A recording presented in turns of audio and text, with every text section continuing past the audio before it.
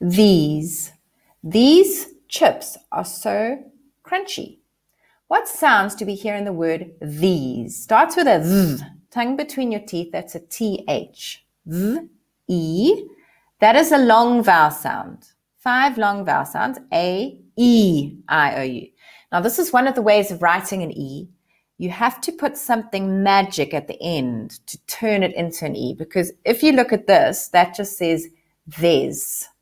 You want to turn that A into an E. So you put the magic E at the end. Now we've got th, e, s, these.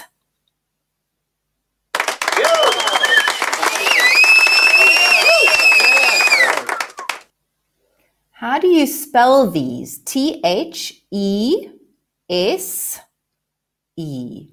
T H E S E. These.